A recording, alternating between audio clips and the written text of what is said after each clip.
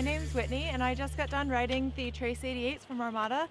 These are really fun skis. They're um, really versatile, really light, they're maneuverable, they hold an edge, they're just fun to play around with. Um, you can go fast in them, you can go slow. They do like going fast. I would say this is probably an advanced, advanced intermediate ski.